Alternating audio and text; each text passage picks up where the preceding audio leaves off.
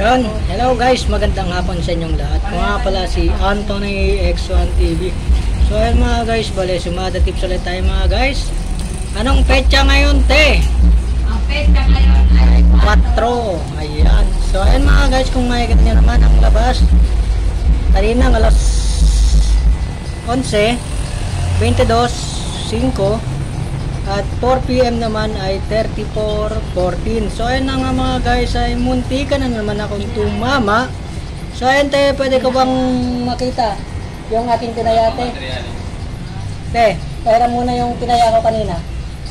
So ayun mga guys, balay papakita ko sa inyo ang aking tinaya.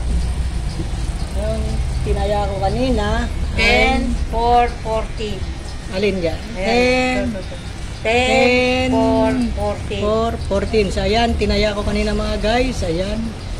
So, ayan, balik tayo dito.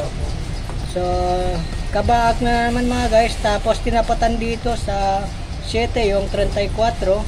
Tapos, yung 14 naman galing dito sa 5. Sumadang 5 lang yung 14.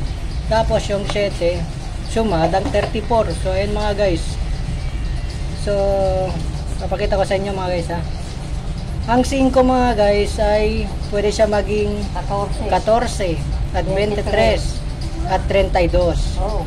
So, sa 7 naman mga guys, pwede siya maging 16 at pwede maging 25 at pwede maging 34. So, ayun na nga mga guys, kung makikita nyo naman, itong 14 sa lumabas dito sa 4pm, galing lang dito sa 5. Sumada lang.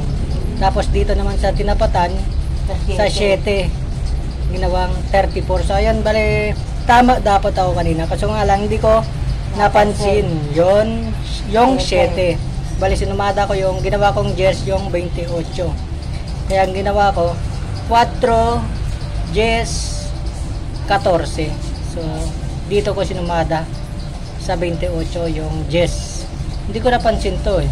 Ayan, oh, hindi ko napansin yan. So pwede natin isumada naman dito sa 13 at sa 31 so ayan. May mili tayo dito na irarambol na, na numero.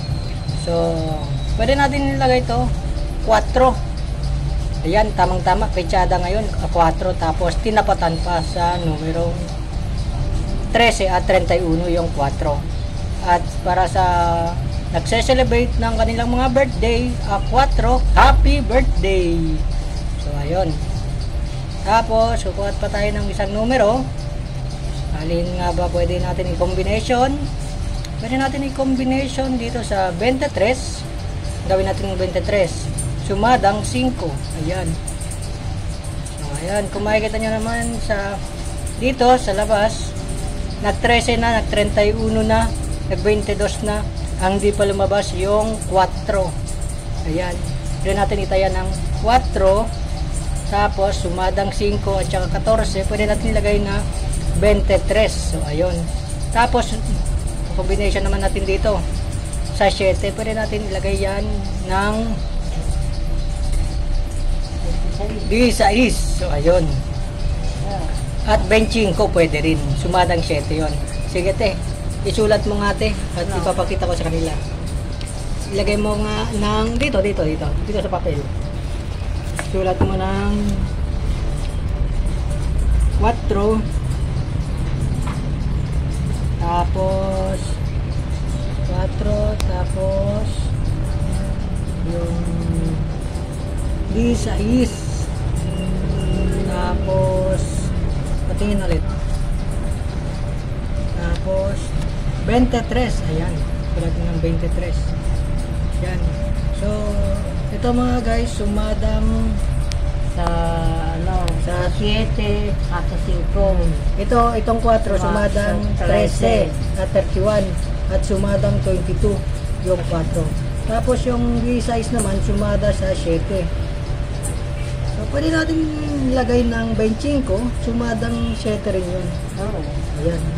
Pwede natin combination yun. Ayan. 25.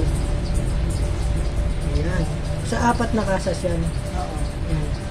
At yung sa 23 naman mga guys, galing dito sa 14 at sa 5. Yan. sumadang 5 yung 23 at 14. Tapos yung 7, yung benching ko naman sumadang 7. Yan. So, ayun na mga guys. Thanks for watching.